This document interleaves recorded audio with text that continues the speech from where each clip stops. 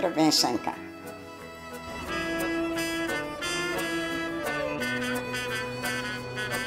« 90. Moi, j'ai 73 ans. Ben, j'ai 72 ans, mais je file comme un gars de 50 ans. 84 ans dans... au mois de septembre. Moi, j'ai 73 ans. OK. 73. Et on travaille pour les pauvres. Et on travaille tous bénévolement.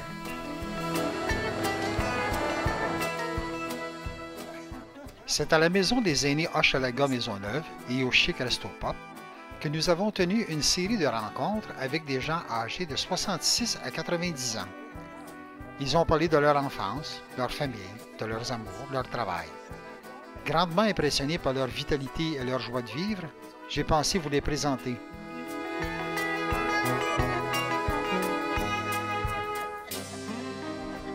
Après quelques années à la campagne, auprès de ses enfants et de ses petits-enfants, Madame Lesage est revenue vivre à Montréal à la Maison des aînés. Elle est bien heureuse car elle a retrouvé ses amis et ses activités préférées. Le bain Maisonneuve fut construit sur le boulevard Morgan dans le cadre d'une campagne pour la promotion de l'hygiène et de la propreté. À cette époque, la majorité des maisons ne comptaient ni douche ni baignoire. C'est dans ce bel édifice que Gisèle joue au crib tous les vendredis. Gagner est sa plus grande joie.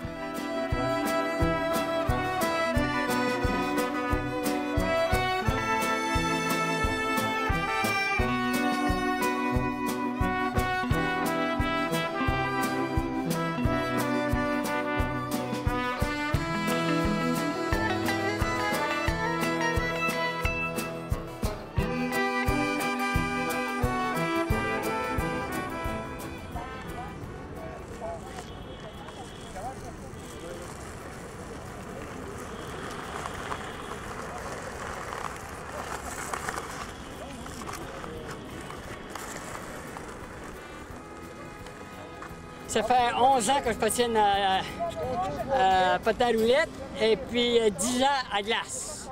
Vous ne patiniez pas avant ça? Ben, je patinais à quatre roues, mais intérieur.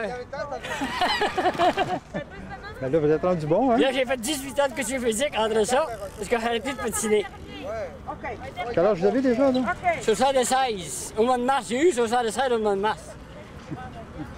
Je fais celui-là, tout, m'en vais d'avant, je, je revire sur moi-même, puis je fais le, le, le rabais de reculon. Comme ça.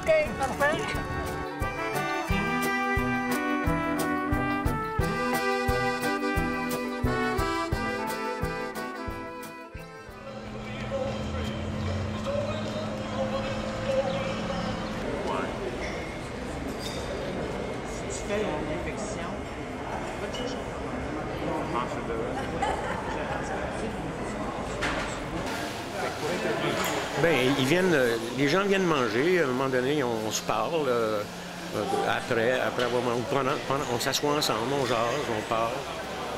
Puis ils se développent des, des- amitiés, des, des- relations saines, je pense. Le fait de faire du bénévolat aussi, ça m'amène, ça me donne le, sentiment de, que je suis utile à quelque chose, que ça, ça me, ça me fait du bien. Samedi, soir à Saint-Dilon, il n'y avait pas grand-chose à faire. On a dit, on fait une danse, on va danser chez Bibi. On s'est trouvé un violon, un salon des partenaires, et puis la soirée commence. C'était à 7h30.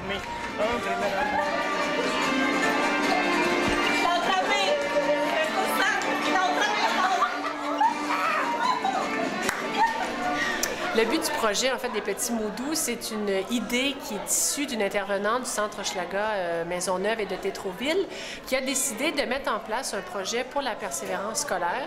Donc, on a décidé de jumeler un groupe d'aînés avec un groupe d'élèves pour qu'ils puissent écrire des lettres pendant toute l'année. Alors, euh, qu'ils puissent ensemble euh, persévérer et puis euh, s'encourager parce qu'on sait très bien que quand on raccroche à l'école, on a besoin d'encouragement, de persévérance et de savoir qu'on est, qu'on est apprécié, qu'on est aimé. Ça nous donne un coup de pouce et ça nous donne surtout l'énergie pour continuer.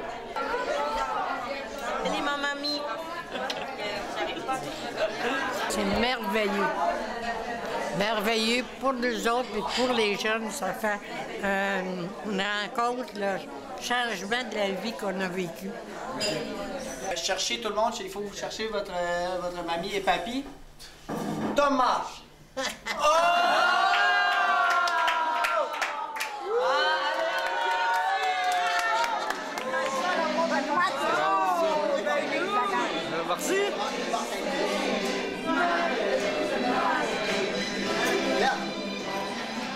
La première lettre, j'ai dit, je te compterai pas toute ma vie parce que ça va prendre des tablettes, beaucoup.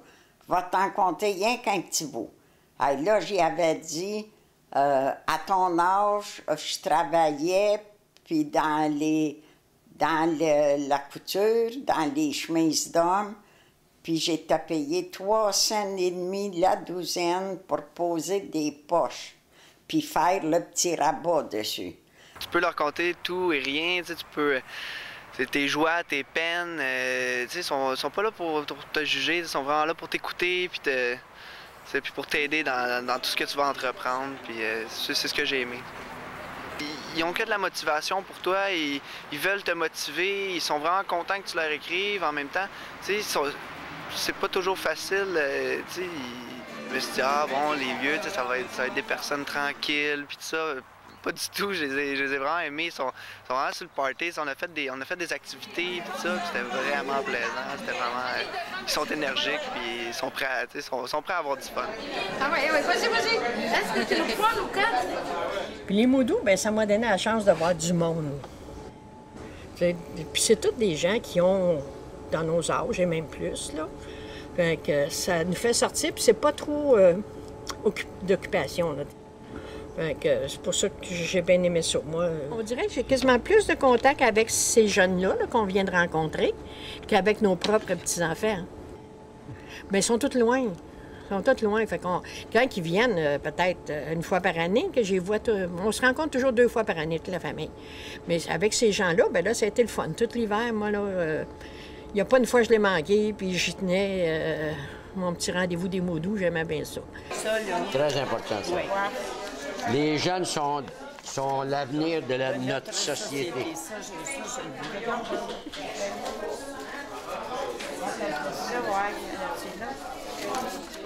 Donc éclaire notre ciel comme un chaud rayon de soleil. C'est la jeunesse qui réconforte et gai nos cœurs aigris ou fatigués. C'est la jeunesse quand l'avenir nous semble noir qui nous redonne un peu d'espoir. C'est la jeunesse. Aider les autres. Aider les jeunes surtout. Tout le long de ma vie, ça a été les jeunes, les jeunes, les jeunes. Moi, ça a été un plaisir pour moi de venir euh, travailler au boulevard parce que je trouvais que c'était une, euh, une, organi- une organisation pour euh, aider les jeunes à se trouver du travail. Euh, quand on a fondé ça avec Guy puis euh, euh, Patrice Rodriguez, on pensait jamais que ça viendrait si gros que ça. Mon but principal, c'est de, de venir voir les jeunes, d'arriver avec mon sourire, puis euh, souvent le- leur donner des conseils, puis euh, vivre le boulot vert. Le- Là, le boulot vert, c'est plutôt pour euh, mon métier. Mais dans les autres, euh, il y a le. Je vois des fois au PEC, PEC, c'est le pavillon éducatif euh, culturel. Ça, je, je vais jouer au, au crib, là, le, le vendredi. Correct? 29. 31. 31 pour 2. Ah non, pour 5. Voyons encore, les. Un ton Assez. 3. Wow! Ben, Wow! ben, Ah ben, moi, t'as Ça part bien, ça? au moment. Au moment, au papa. Au moment, au papa. Au moment, au papa. Oui, c'est à moi. Non, j'attends le... Ah, ben. Ce qui fait que quoi? 70. Non, non, non, prends pas de photo. C'est quoi, ça? Prends pas de photo. Elle se gagne, elle se de elle se c'est Plus qu'un double. Qu'un Non, double. un double, c'est 60. Ben oui, ben presque. Presque, Pas loin. presque. Presque un double. 69. Rendu à la maison, vous Moi, je vous êtes pas, vous êtes pas par là. Je joue avec, en essayant de tout faire pour gagner, mais sans tricher. Parce qu'il ne faut pas tricher, c'est pas bon. Alors, le premier tour, un bingo régulier pour 15 M. Guy Biron est le caller officiel des bingos du mardi qui se déroule au centre Asta, dans une des salles du Bain Maisonneuve, et ce depuis plus de 15 ans. Et 18. Un 8.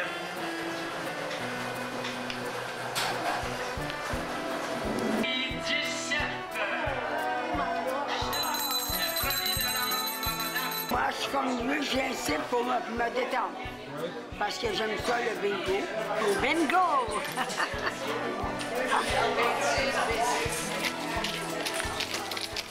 C'est dans la cuisine de leur appartement dans la rue Sainte-Catherine que Réjeanne et Guy Biron préparent la soupe aux légumes, le rôti de porc frais ainsi que le gâteau pour les participants au bingo du mardi.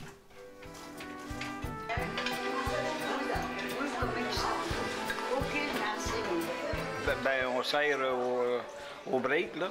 On sert euh, le café, puis l'affaire-là, les chips, d'alcool. Ben, moi, la- j'aime l'ambiance d'ici, j'aime les, les gens qui viennent, je les connais un peu, euh, presque toutes. Alors, euh, je viens faire une rencontre aussi, puis euh, sortir de la maison. C'est surtout ça. Ben, pour commencer le bingo, la danse, la valse. La valse. La grande valse. Bien, le- ils viennent chercher l'attention, euh, ils viennent euh, aussi discuter avec d'autres. euh, ils- S'ils ont un problème, ils viennent nous voir puis ils nous en parlent. euh, On règle pas mal d'affaires. Ça, c'est. C'est pas grand-chose, mais des fois, parler à quelqu'un, ça, ça remonte euh, le moral. À quelques pas du bingo, la grande place du marché Maisonneuve, jadis occupée par les marchands, est maintenant envahie par des gens de tous âges qui viennent participer aux activités du Centre culturel et sportif de l'Est.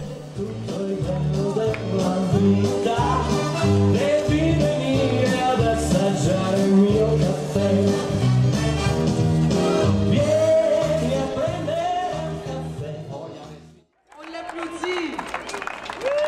Là, vous allez faire le tour de l'île euh, dimanche Là, je vais faire le tour de l'île euh, dimanche le 7 juin. Moi, je vais là avec mon frère. Tous les ans, je vais là avec mon frère qui, est de, qui est de 3 ans mon ami. Moi, c'est mon neuvième tour que je fais. 95, ça fait à C'est 80. 15 ans, 15. Ouais, c'est ça, 15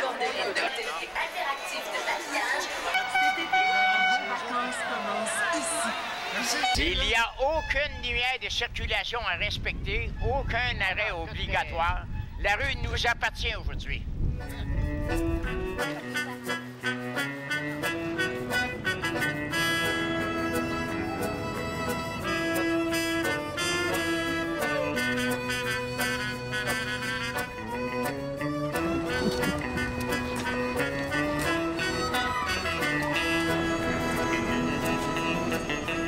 N'oubliez pas, c'est en marchant qu'on s'éloigne de son médecin.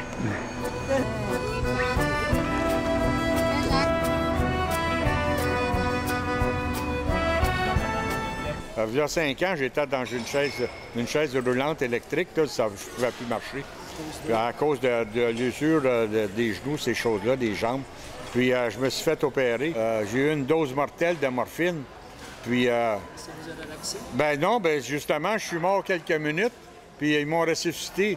Ça fait que pour moi, là, euh, le bon Dieu, l'autre bord, il doit avoir dit Ah, tu n'as pas assez fait, toi, là. Ils ont besoin de toi encore en bas. Fait que, euh, ils m'ont ils choqué électrique, puis mon cœur, est reparti à rebattre. Moi, il me pose pas de questions. Puis je merci, merci, mon Dieu, puis je continue à répandre du bonheur. C'est vous, la nuit, le jour, et pour toujours. Vous êtes tout, vous êtes tout pour moi. Le secret, c'est la prière. Spi- C'est la spiritualité plutôt, parce que je ne suis pas toujours à la prière. Mais c'est une vie. ça. Je vous ai pas dit que j'avais une petite chapelle Non. dans ma maison. Oui, c'est très important. C'est que mes enfants m'ont donné toutes sortes d'objets pieux. Fait que je me suis dit, faut, que- ouais, je vais faire un genre de chapelle avec ça. Puis les enfants aiment ça. Puis je prie pour eux. Ils ont chacun, les enfants, une sainte. Puis ils savent quelle heure. Puis mes petits-enfants, puis- mes amis. Hum, puis il arrive des belles choses. Parce que la prière, c'est ce qu'il y a de plus fort au monde. Qu'est-ce que t'en penses? C'est vrai. Non. T'as raison, ma C'est femme. mieux de m'approuver. Parce que mon mari, quand c'est un petit problème, il dit Ma femme, hum, allume le lampion. Ah oui, Il a confiance. Ça va mieux. Ouais. ah oui. Ben oui, sûrement. C'est en suivant les traces de la bienheureuse Émilie Gamelin que les Sœurs de la Providence poursuivent leur mission. La priorité, c'est la prière. hein? Alors, nous avons nos temps de prière personnels, puis nos temps de prière en commun. Puis ensuite de ça, bien, ils ont tout un ministère. Puis celles, qui- il y a quelques-unes qui sont âgées. On a une qui va avoir 97 ans bientôt. Mais elle aussi, elle s'occupe à des petites choses. Tout, on s'occupe de, de petits, petits services. C'est ça qui nous empêche de vieillir. Euh, autrefois, je pense qu'on allait à domicile, on allait ailleurs, on allait dans des groupes, on avait des groupes. Mais aujourd'hui, c'est les groupes qui viennent à nous. Là, comme j'ai, j'ai, trois jours de, de bazar, là, je pense que j'irai pas tous les trois jours. Ce Ah, serait plus sage que j'y aille une journée, puis une autre journée, je ferai un congé, puis l'autre journée, j'irai. C'est accepter ça, qu'on ne peut pas faire tout ce qu'on faisait avant. On devient plus réaliste. Puis c'est bon d'être réaliste, de pas de rêver trop. Il faut, faut faire avoir des rêves encore parce qu'on a encore des bonnes faut années à rêver. vivre. Mais euh, pas, pas trop rêver en couleur. Admettre qu'on ne peut plus, et, mais on fait autre chose. Il y a des désavantages, c'est certain. Bon, on perd nos cheveux, on perd nos dents, on perd, on perd notre mémoire, on a de la misère avec ça. Mais il y a tellement d'autres compensations. On ne voit plus la vie comme avant. La vie nous apparaît dans son réalisme, je dis, son réalisme vrai, la vraie vie. Puis moi, ben, je rêve. Je rêve de partage, je rêve d'amitié, d'amour, de liberté, de tout ce qu'un être humain finalement cherche tout au long de sa vie. Et puis j'ai la- le privilège et l'occasion fréquente de pouvoir l'exprimer en le chantant. Alors j'ai chanté, je chante en église, j'ai chanté en hôpital, j'ai chanté et parfois je fais chanter sans nécessairement faire du chantage. Mais j'aime aussi amener des gens à chanter. Puis là,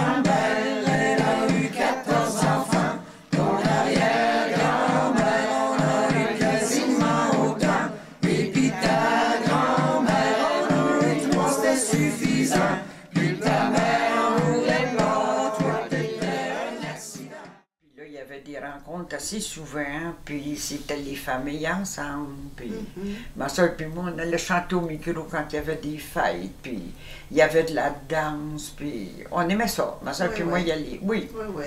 Oui, oui. C'est la chanson de notre amour.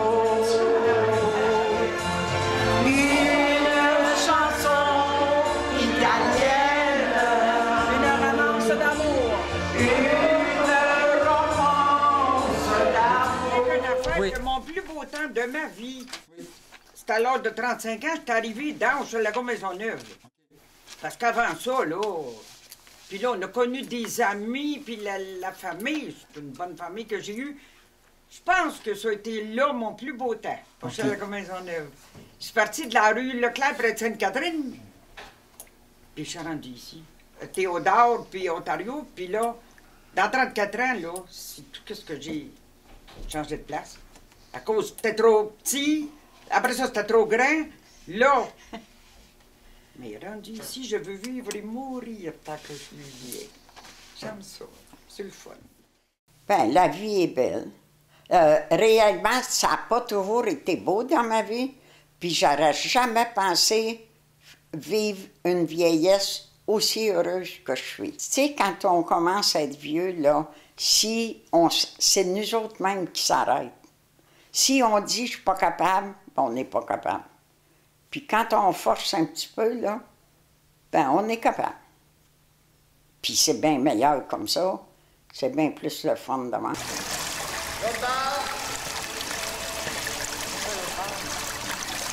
peux t'approcher. 3, 2, 1, voilà. m'a essayé d'aller là toute ma vie. Parce que il n'y a rien qui fait du bien comme ça.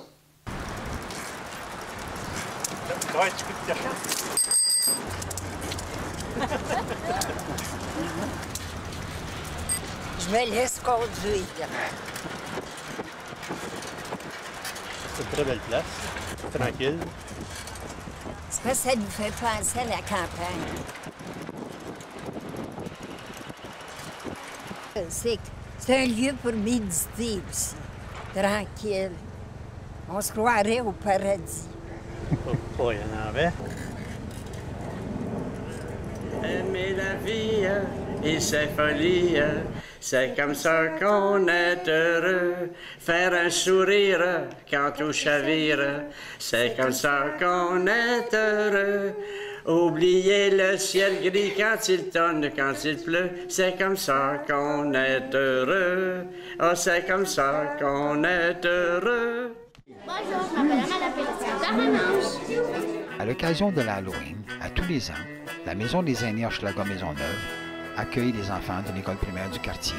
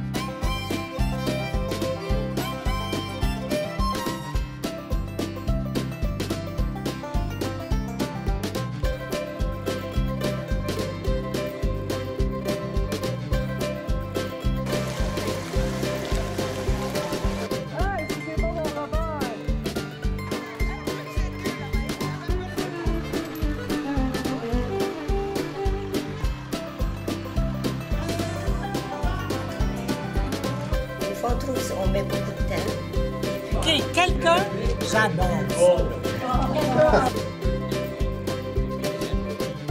Je vais vous compter, moi. En 13 ans. C'est la seule façon que j'ai à de craquer. Mon Dieu, donne-moi la sérénité d'accepter tout.